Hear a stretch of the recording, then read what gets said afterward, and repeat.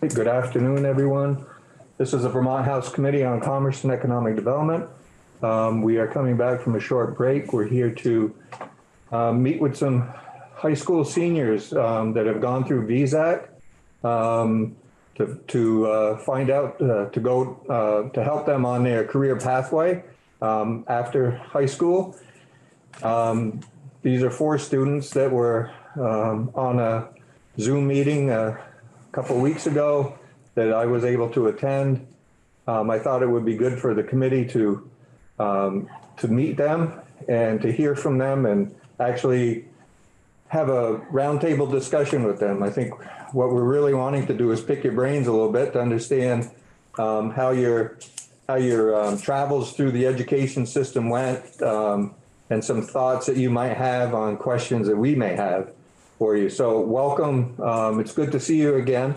Um, I know it's a little difficult to see uh, see us, uh, especially with a mask on, but pictures are a little on the small side as well. But um, I, I- thank you for for joining us this afternoon, taking time to talk to us.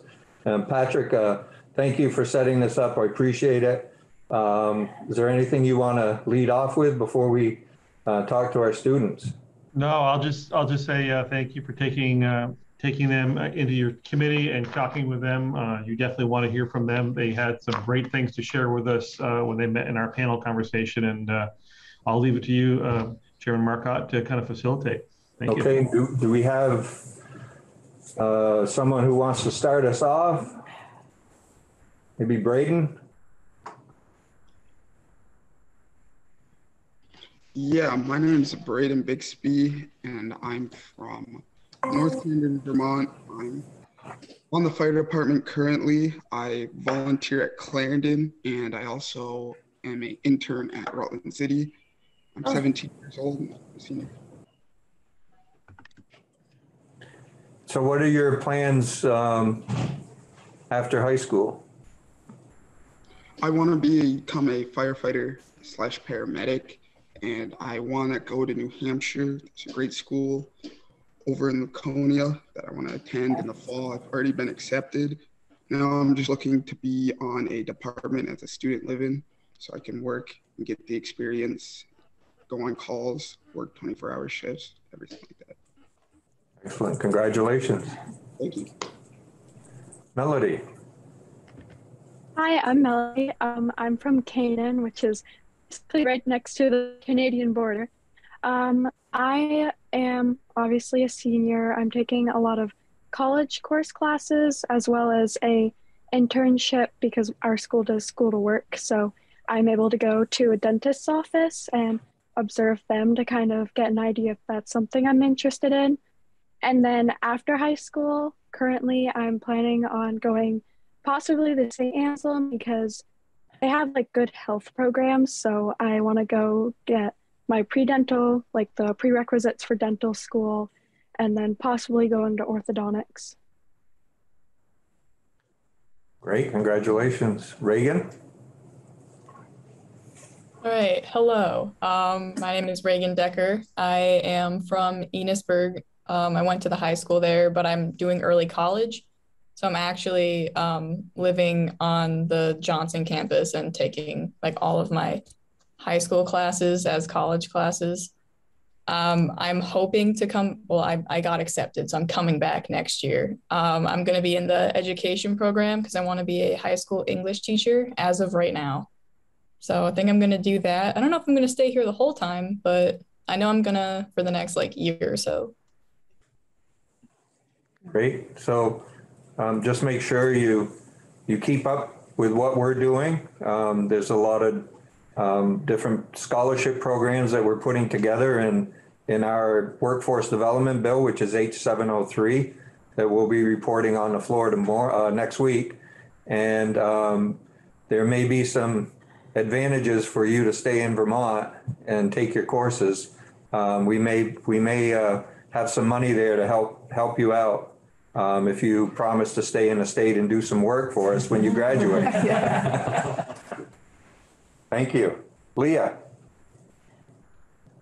Hi, my name is Leah Wheeler. I'm from Newbury, Vermont. Um, I attend Oxbow High School and I also go to Riverbend Career and Technical Center. I'm in the health science program. Um, I plan to go to college this fall and currently uh, next week, actually, my program is starting our LNA courses at Cottage Hospital. And um, when I get to college, I don't, I haven't chosen where I want to go yet. I'm still deciding on where I want to go, but um, when I get to college, I do hope to have my LNA, and uh, I do. Be, I I hope to become an RN in, in labor and delivery.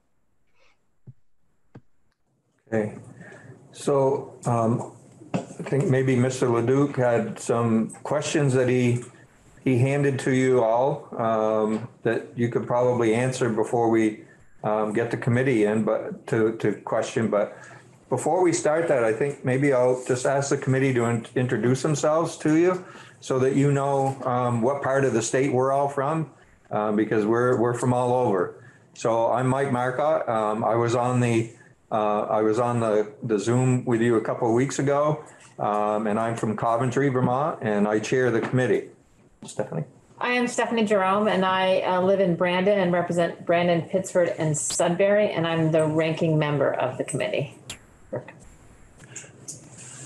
I'm uh, Kirk White. I live in Bethel and I represent Bethel, Rochester, Stockbridge, and Pittsfield. And it'd be good if you raised your hand so they could actually tell who we are and who's speaking. With the mask on, it's hard to see. I'm Wayne Laroche. Uh, I represent uh, Richford, uh, Berkshire, Franklin, and Highgate, and I live in Franklin, Vermont. Hi, I'm Lynn Dickinson. I live in St. Albans Town and uh, I represent St. Albans Town and um, I'm glad to see you here. And just so you know, Lynn, Lynn's husband is a dentist and, um, Yes, Melody. and so they, they run a, a, a dental facility in, in St. Albans. Yes, and I'm also um, the chair of the board of the Vermont State College System. So Reagan, I'm glad to see you're at NVU. John? Hi, everyone. Uh, thanks for being here today. I'm John Kascenska. I'm from East Burke, uh, Vermont, and I represent uh, Lyndon, Sutton, and Burke in the Northeast Kingdom. Emma? And hi, everyone. I'm Emma Mulvaney Stanak. I represent a portion of Burlington, um, part of the Old North End and New North End of Burlington. There's 10 reps there, so the crew. Hi there, uh, Mike Nigro, and I represent uh, one of the districts in Bennington. Hey, and one of our members is on the Zoom with you, uh, Representative Kitts Miller. Hi, thank you, Mr. Chair. I just wanted to say hi. You can't really see me except for a little face on the screen back there, but I'm just working from home this afternoon. So I, I, I, I knew that Lynn was going to mention that uh, her husband is a dentist because that was going to ring pretty close to one of you. So I'm, I'm very, very interested in hearing what you've got to say. Uh, turn it back over. Thank you. Thank you. Uh, the only one missing is Vice Chair uh, Kimbell. Uh, he's from Woodstock. He uh, is actually in, in the uh, House Education Committee right now, going over our workforce development bill, um, H703, with, with the Education Committee. So um, welcome, and um, so let's uh, let's go through the questions that, that were given to you. Chair Marco, why don't I just go ahead and, and verbalize at least the first one to get things kickstarted? Um, you and I kind of chatted, chatted on the phone for a second and kind of crafted a couple of topics that are really kind of a continuation of our panel conversation. So um, our students were, were shared so much there. This is a great opportunity to have them continue to give us more information. So the first question that we came up with, with was really, what's your perception of how CTEs is presented in your school? And we talked about that a little bit in the panel, but what would you guys say to that? So um, when I first got to Oxbow, I mean, they pretty much put it out right in front of us in seventh grade. Um, I think, like I said before, I think I toured it maybe two or three times. Uh, the first time I toured it was actually in elementary school, so I knew about Riverbend from like the fifth grade. Um, so I did, we did, um, we knew what Riverbend was. We just uh, didn't really know what it was all about at the time, I guess you could say, or how it would help us in the future. But when we got to sophomore year and we actually took a tour of it and they explained to us that you can get college credit for a lot of your classes, that's when we really knew like, oh, this could actually come in handy and this could prepare us for our education in the future. I think um, Enosburg was in the same boat because they definitely made it like known that we had Cold Hollow. And I'm pretty sure it was like ninth grade or so where they made us take a class over there. So we'd have to walk over even if we weren't interested, just so they could teach us about like what the building was and what the options were and how it would help us in the future. Um, a lot of students did Cold Hollow. They allowed us to actually partake in it starting our sophomore year, I think. I think so. 10th grade? Yes, it was 10th grade. Um, they told us about it in middle school, but we didn't really know anything. We are just like, oh, cool kids go to Cold Hollow. That's great. I didn't even know it was, I didn't know what it was, but I knew of it. So they definitely taught us a lot in our freshman year. And then obviously sophomore through senior years when they actually let us do it. So. Oh, Richford, okay. So I personally have not been in a CT program, but I talked to one of my friends who also goes to my school who has gone through it because they didn't really have like a big program until 2020, which they did it through our business teachers class. Um, so I'm just gonna read what she told me if you don't mind. Um, she said that it has been widely promoted to students, so it's a very well-known thing now ever since 2020 um, and that the teacher is like very good at what she does and that it's really good for teaching students whether since it's business related so any students that want to be like in the business um, workforce or anything like that or even for students who are unsure of what career they want to do it's all kind of like based on students deciding on what they want to do with their future whether they do want to go for business or not. And it's really helpful for them from what I've heard from students who have been in that program. And I think uh, at one point, um, wasn't Canaan tied in with North Country in Newport, the Career Center? Um, I'm actually not entirely sure. Um, I just heard of this program newly throughout our business program, so I'm not entirely sure on that answer. Yeah, it was would have made it pretty tough for for you and Canaan to. Um, I think the North Country, the Career Center had a satellite there, maybe. Um,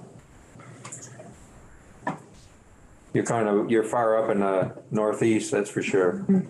Yeah. Braden. Yeah, I feel like I didn't really get exposed to the Career Center until my freshman year. And I looked into it. I was thinking about doing culinary, but that shifted. My goals shifted. And I was looking into the public safety program, but it was more focused on like police, like the police side and like military side. So I wasn't really interested in that. So I decided to go back to like normal learning. But I feel like if we did it at a younger age, down in Mill River, I feel like it would have been more successful. Got more kids to go through the program. Thank you. Question for Braden. Go ahead. Braden, I have heard of people speak about, oh, and this is Stephanie Jerome, and I am from Brandon, so um, I, I know a little bit more about Stafford, the Stafford um, program. And I've heard people say that it would be really great if there was an EMS or firefighter training program at Stafford. Do you think that there would be a lot of interest from students in Mill River or other local schools in a program like that? Yeah, I've been talking to a lot of junior firefighters throughout the state. A lot of good friends with some people from Fairhaven, even Burlington. Um, even from down south, like Bennington Way, Danby Way, and they would come up here to go to this program. I think it would be really great if Stafford opened it up to more like fire science, EMS based, not just police, because there's a lot of interest. It's just I feel like kids don't know how to capitalize on it. Yeah. And so you're you're serving now as a, in your local volunteer fire department? Yes, yes. That's great. That's good because I know that all the fire departments certainly need, or volunteer fire departments always need more members and love new younger members as well. Yeah, And it's good to know and get all the knowledge I can before I go off to school. It's nice being actually there on the incident and actually being hands on, getting to see everything operate. It's awesome. And what kind of training do you, have you been able to take advantage of as a student? Are you able to do any of the firefighter training that happens at the police academy in Pittsford? I am not yet because I'm still underage, but like Oh. um, this Saturday, I actually have a propane training to get like a certification for propane and just to work with propane. Um, and then there's like a water rescue course. So like there's stuff available that I can get, but not widely available, like SCBA, that's like air pack training, or like um, interior work. I, I can't do that yet because I'm not certified. A- And it's because of your age? Yes, You're just, strictly. you're just too young? Yes. Yeah, are you- Um, How old are you? I'm 17. You're 17, okay. Okay, so everything's away, available for 18 year olds. Yes, 18 year olds. Right. Okay, thank you. Yes. And did we, um, was there another question, Patrick? Sure, yeah, they, they kind of, they kind of leaked into the second question. So I'm going to jump us to the third question that we came up with, uh, Chairman. The, should CTE courses be offered even earlier than they are now? And I think Reagan, you mentioned you took one in sophomore class, sophomore year. How early should CTE classes be offered to students in your minds? Um, I was not actually like in like a specific program for Cold Hollow. They just made us, well, okay, well, they did make us. They made us take a course about Cold Hollow. Gotcha. So we had to like walk over there in the winter and just sit there and they'd be like, all right, this is what our center has to offer. This is like a specific program and this is how it can help you in your career when you're older. And they taught us all about it. So we were very well informed for our freshman year. So by the time we were sophomores, we like already knew if we wanted to do it or not and like what the process would be. So if were- to. So if we were to build on that, should all of that started years before that, or is that the right time? Um, I I think it's the right time, but that's just me. I know like if I was in middle school and I had to like walk over there to like the high school career center and then like learn everything and then I'd have to wait and then I just think it'd be very intimidating and you wouldn't really know as much as you should or like have a high school experience to where you're like, "Oh, I want to take normal classes." Like you should be given the like the option to just have a normal like school day and like regular education before like automatically jumping into like half of my day is going to be at the career center and then the other half is going to be an actual regular high school day. I just think it would be like weird to not have that experience like the first year. Good point.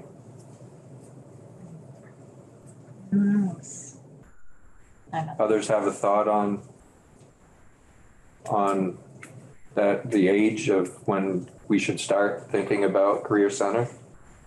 Yeah, so I talked to a few people that have been part of the program, and surprisingly, I got a lot of, and I'm sorry if there's background noise, um, of people who said that it should start, if it has to, at sophomore year, because ninth graders, it may be harder for them because it may be at a difficult level since it's like preparing students for college. Um, that's what I've heard. I think there definitely are students who could probably handle it. I think it is based all on maturity of the students. That's just in my opinion, but I do understand where they come from, where maybe they should be exposed to it, but not completely a part of the program because they might not be entirely prepared for it, whether that's um, like with the coursework that comes with it or whatever happens in that program.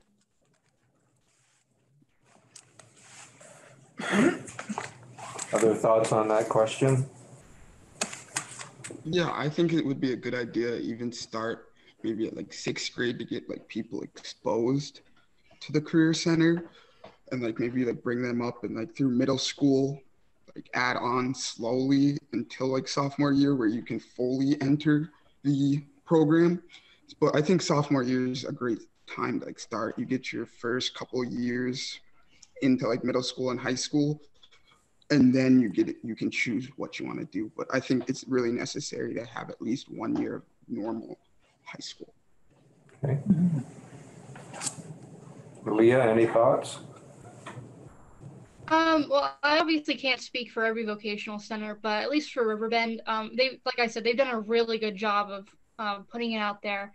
And I do know that even though the three period um, programs that are reserved, they're, they're they're reserved for juniors and seniors, but um, I think I think freshmen and sophomores can do like one period uh, classes and everything. So even though it's not the three period programs where you can get college credit, um, you still get exposed to Riverbend in some form, uh, just through one class. And um, I've I know people who have taken it. I haven't taken those classes myself, um, but uh, I I do know people who have, and they really do enjoy them. So.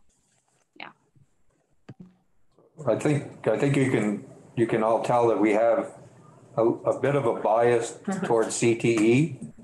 Um, because we've, um, over the years, uh, the years that I've been here and, um, you know, we've been, we've been hearing about the real need to expose students to the Career Center.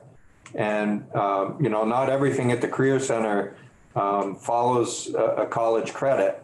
Um, there's other courses there that you get a certification from. Um, and so, uh, you know, listening to the governor this year during State of the State, he actually talked about the need to elevate the the the um, the career center education to the same level as a as a, a college education, um, because there's um, you know there's some people, some students that are destined to go to college, and that's a great path for them but there's other students that aren't. Um, but we want to make sure that they have a skill as well when they when they leave high school and possibly maybe move on to college in a slower slower way. Um, maybe through certifications that that would help get to them get a an associate's degree at VTC or something. Um, and have so have all of you um, been exposed or know about dual enrollment program that that we do? And so we're looking at uh, creating something in the same, the, the same as dual enrollment, but for adult CTE programs for certifications. So like Leah, you could, um, you could, you could uh, have your, have an LNA program certification paid for. Um, because right now you can't go through dual enrollment with that if it's taught at the CTE. Um, and, and possibly CDL uh, for students to, to uh, go through the CDL program. So when they turn 18, they could go and get their, their uh, permit for CDL and all kinds of other different things that are taught on the adult side of the CTE. So do you think that has um, any potential? Braden? Yeah, I think that would be great if younger kids could get at least like exposed and maybe not take like practicals like really like hands-on but if they could get all the book work done for like their fire one to get them interior certified like as soon as they turn 18 i think that would be so beneficial because i would do that mm-hmm. yeah and, and we're also you know thinking about making sure that you know if there's students that are that are financial have a hard time financially um, being able to attend the class because of transportation or or other issues that need equipment or or anything like that that we just like dual enrollment um, there would be that that back end help to make sure that all students are able to access uh, at least one course. Yeah i think that'd be great. Anyone else? Reagan um, I think it would be helpful. It would definitely be a cool experience for a lot of kids who like already know that they want to go into into like because some kids know from a young age that they're like, oh, I'm gonna go to a trade school. I don't want to go to college. So if you like know already, you're like, yeah, college isn't for me, and you're actually given like the opportunity to like go and like figure stuff out and try and see what you like on the like trade school end of things. I think that would be really helpful because they do really like drill college into your mind from a very young age. So I think it would be cool if like kids could actually be like, "Oh, well, I don't really want to do college. So can I like do some cool classes and like get help towards trade school already and like get it done cuz I'm doing early college. So that's like a year early for me. And I don't think they have anything like that for like if I wanted to go to like a trade school and do something. Like I don't think my school would be like, yeah, just go do that. So I think it'd be cool if it was an option for both like college classes and like technical center classes. I don't know what you'd call it, but you know what I mean. Yeah. Any thoughts, Melody or Leah?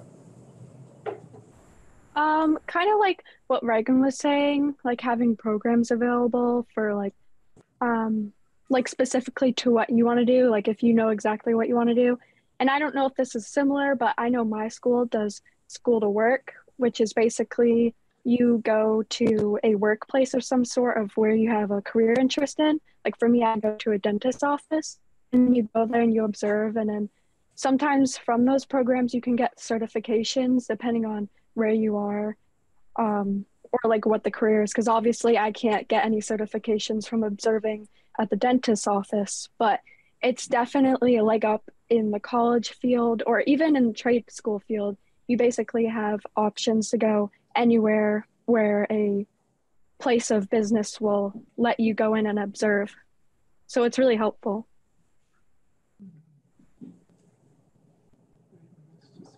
Leah, do you think that, you know, if that was, had been available to you, that you may have, um, you know, taken an LNA course maybe in 10th grade and got in and, and gotten your certification?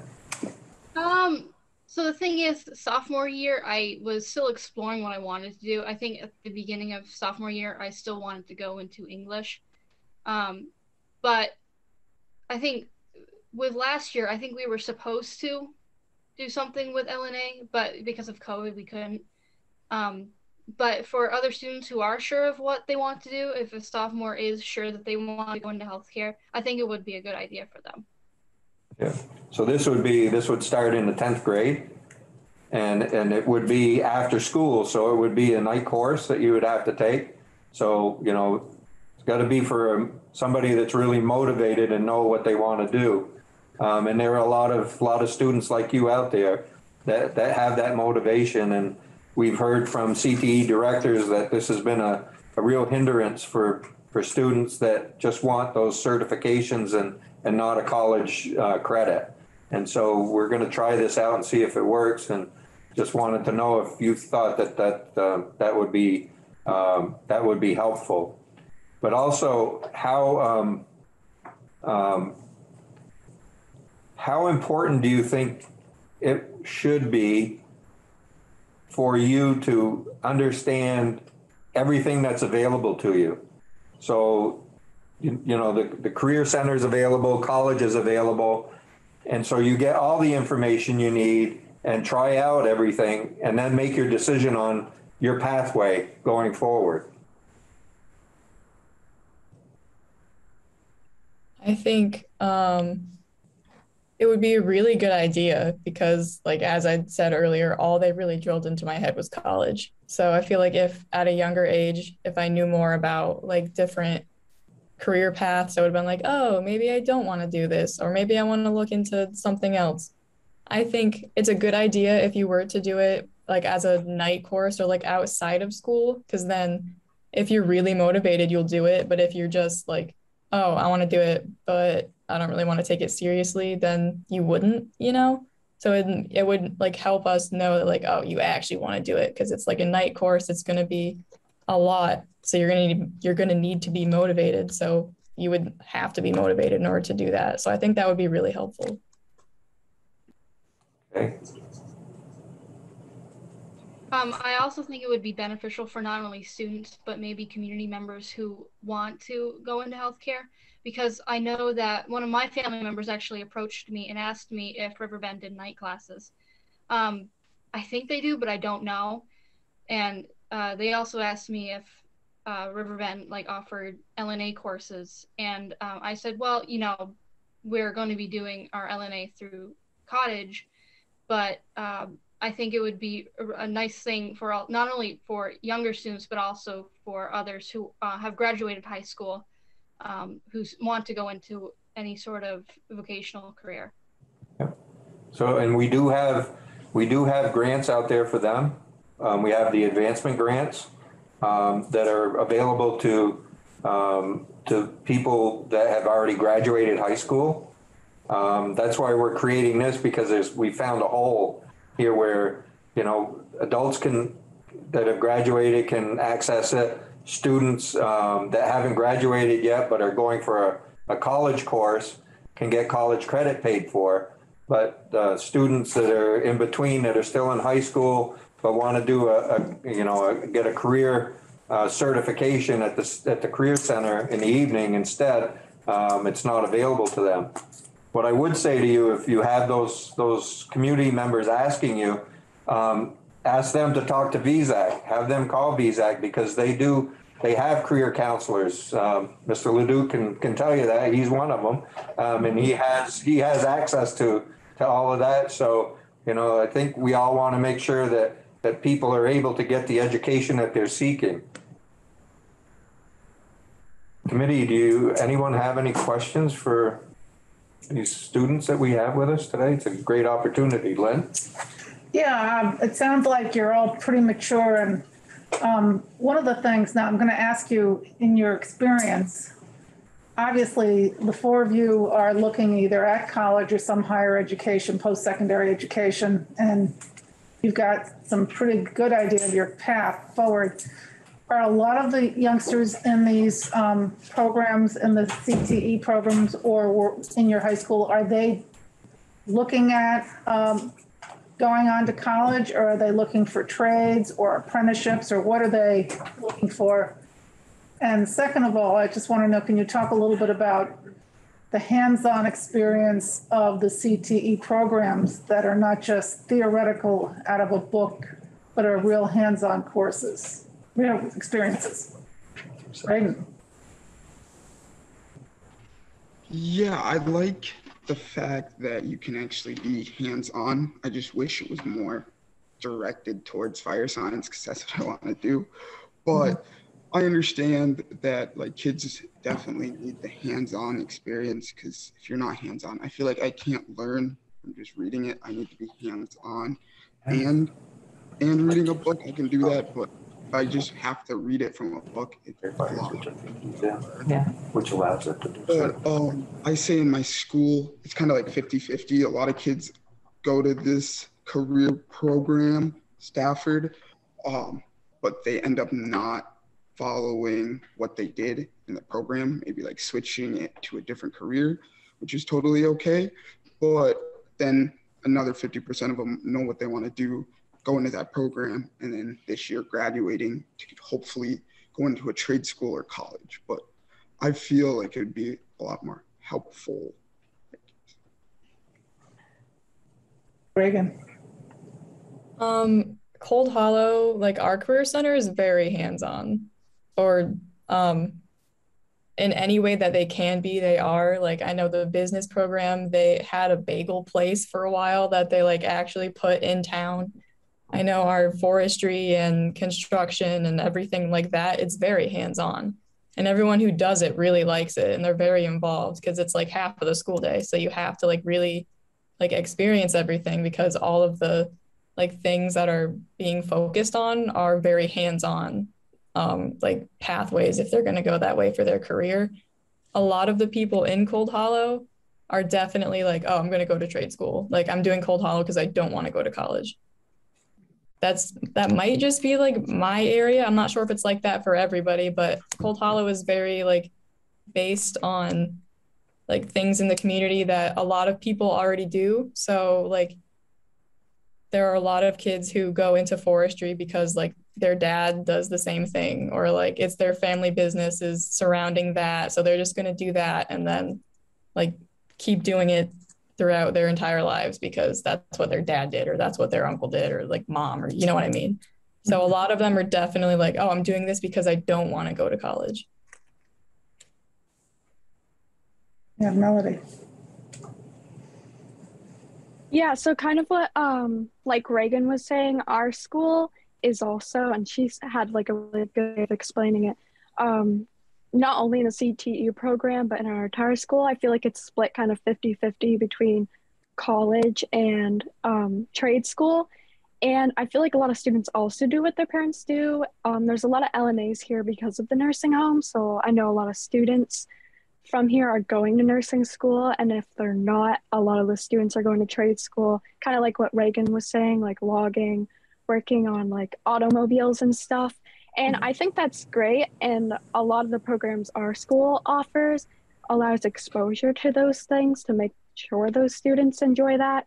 Um, unfortunately, I wasn't a part of any CT programs because I felt like my school didn't really make me entirely aware of it. But I know a lot of other students in my school who were able to be a part of the program have definitely benefited from it and are learning what they're interested um, going forward after high school because of those programs. I know a lot of the students who are in the business CT program are like, I want to do business. This is like great for me, and they've learned a lot from it. Um, a lot of the programs at Riverbend are very hands-on. I think that's uh, pretty much the crux of all the programs. Um, for mine, definitely, uh, we've learned a lot, and we're actually going to be getting our basic life uh, basic life support uh, credential tomorrow. So um, there's that, and then I know the cosmetology program has they also went through inspection and I think they're now an operating salon is what I heard. So very hands-on and also getting that real world experience as well. John? Um, each of you has chosen um, to take advantage of CTE or dual enrollment like Reagan has here.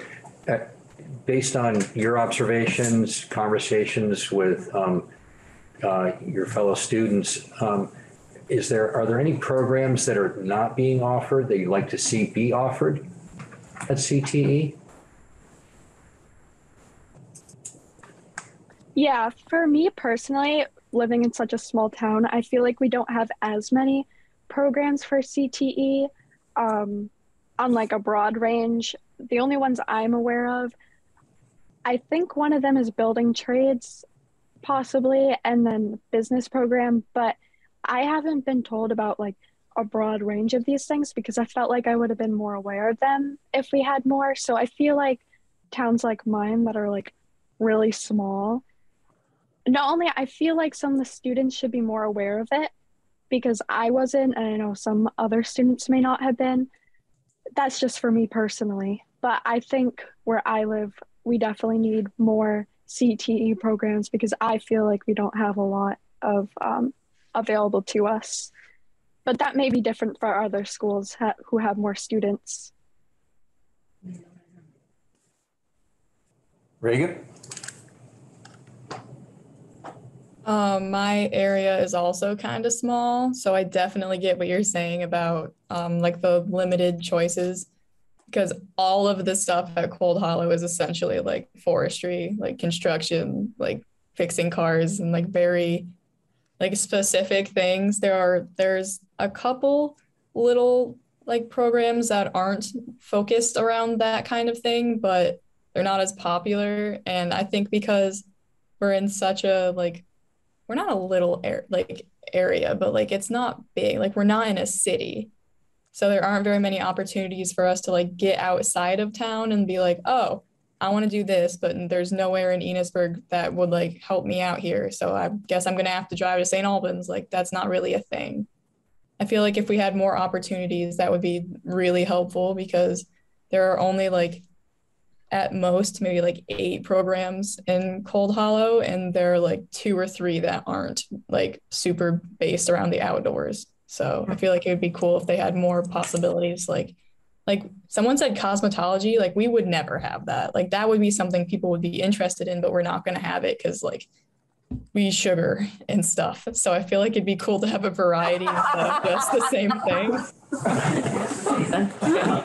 trees are cool, but not everyone's into trees. So I feel like it'd be nice to like move from that. Fair, fair enough. Yeah, Braden? Your thoughts? Yeah, I wish that they did more at Stafford. I feel like they definitely have enough kids to expand the program and maybe generalize like a direct career path instead of like you can go in for public safety, but it doesn't like really define like what public safety you're going into. It's like but they direct it more towards like the military and police, which is okay. But it would be nice if at Stafford they offered something for fire science because I would definitely do that. Or even um, I heard some people like would like to do like more into like engineering. Like I feel like the engineering program at Stafford isn't the best, but it's something at least. At least they have like something to work off. But I feel like if they advance more and do more inside the program, I think it would be very successful.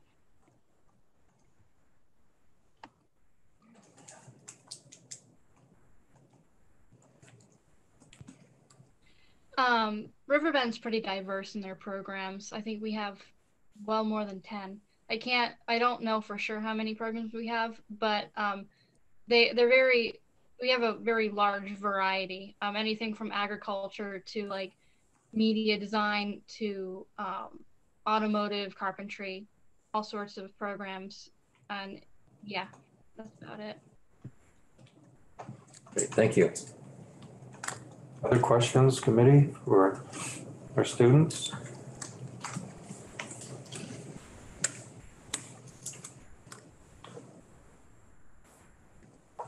Well, thank you all very much for joining us this afternoon.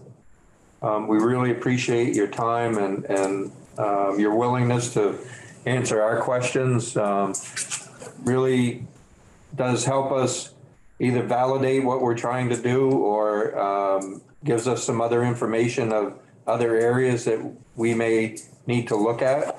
Um, so we are, uh, but I do, uh, again, want to make sure you, you look at 703, once it gets through the whole process and the governor signs it, because there is a lot of money in there that will go to help students uh, going to college, um, to help pay uh, for scholarships, um, help pay tuition, um, help to keep you in Vermont if you shoot, if you choose to do that. Um, but we, uh, we also wish the best for all of you in your um, future endeavors after high school. Um, just make sure that you go and make us proud.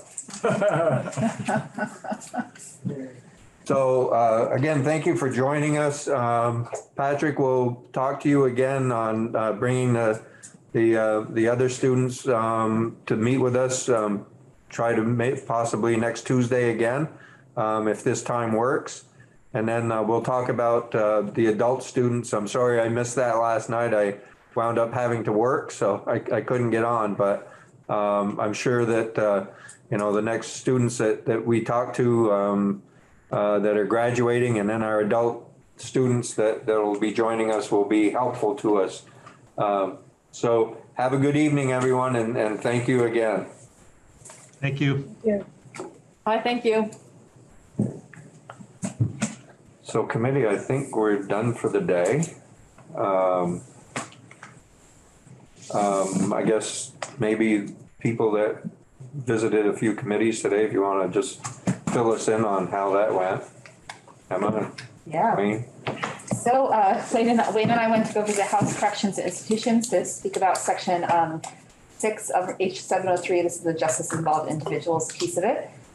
It was interesting, um, and I think by the time we got to the end of it, I stayed a little bit longer because there was some confusion around funding sources. Uh, a whole world of corrections that we don't necessarily know much about uh, collectively as a committee around money that gets returned when it's not used for fo- for folks that they house in correction facilities outside the state apparently comes back to the state of Vermont and goes into the general fund and there's a whole discussion around it's all the same money it's different money et cetera so they didn't have as much critique about the policy but more about the um, funding sources which I sort of anticipated um, but I think they got to a place at by the end of the discussion where they um, they're going to probably make some language recommendations to have their fingerprints a little bit more on this corrections piece, which I said is totally fair. And we, you know, we were putting a lot in and our timeline was very quick last week that it was not ideal for anyone. We, I was very polite and respectful about that. So we might make some adjustments. I mentioned that we have a, a amendment already in the works for 703 because there's so many moving parts. We, we um, would be happy to, hope I, didn't overspeak, but happy to work with them to put that piece No, in. for sure. Um, and they said on the money part in the end, Uh, they didn't take the vote yet, but they were very clear that um, they did a straw poll on the money, this this- specifically the four hundred and seventeen thousand dollars that would go directly to Department of Corrections in here to basically enhance their current vocational training, both the facility locations-based stuff as well as looking at curriculum and redesign of their training programs.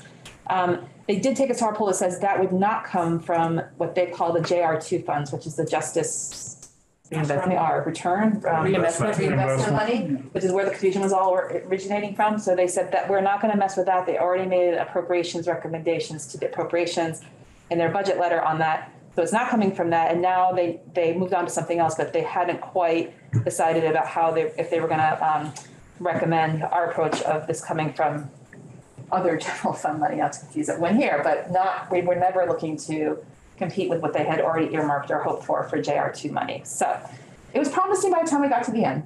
It was, it was an interesting hour and a half, or hour and however long it was there. So, yep, So is the three hundred for, from Works for Women, that was that's fine? fine. That was fine. So the upper amount, they will vote on some dollar amount?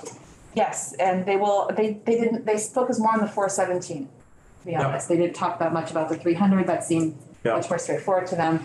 And I think, again, it's because four seventeen was coming with this JR two confusion piece. Yeah. And I guess also Representative Squirrel, who's their appropriations point person, um, was coming back with some variations on their JR two proposal. So they were talking about several things all at once. So from what I can tell, they'll get back to us on where they think our, our four seventeen would be, and they might change the number so that everyone's not so confused about. Oh, not a problem. Or eighteen maybe, I don't know. Easy to get along with? Uh, easy to get along with. Logan? Uh, yeah, so I went up to Human Services just to kind of walk them through some of the sections of the bill. Uh, they were very excited about a lot of the sections. They're really excited about the Med- Medicaid rate uh, attempt there. Um, they seemed to feel like it was a long shot themselves, but they definitely they sounded like they were very supportive. I did not get uh, you know straw poll or formal vote from them, but they uh, asked a lot of great questions. They did. It sounded like they may have wanted us to put in more explicit language that called out um, adult education uh, as opposed to just the findings language that we had in there and adult. Some of the adult, um, just making sure adult access to CTEs. I told them that I, I thought that that was in there with the CTE governance structure and um, reports. Uh, but, you know, they just questioned that they, they didn't really read that out of it per se. Um, so that was kind of their only comment was just that they, they felt like maybe older Vermonters were not as, um, explicit in, in our language either. But, yeah, I, I, my opinion is that it's all intertwined with all the nursing restructuring and, and everything else that's in the bill already. Um, and they weren't, that they were critical, but they, they just said that they didn't necessarily read that on their first path. And they may have wanted that to be a little more explicit. Yep. Um, but other than that, yeah, I mean, it sounded like they were generally supportive. Um, really excited about the recovery work, recovery centers initiative and, um, and yeah, a lot of the, the Medicaid rate was something that they were very, they hope that it succeeds. And I think, you know, it was a little disappointing, I think, to us too, that, you know, we talked about people that are retired, older, older Vermonters.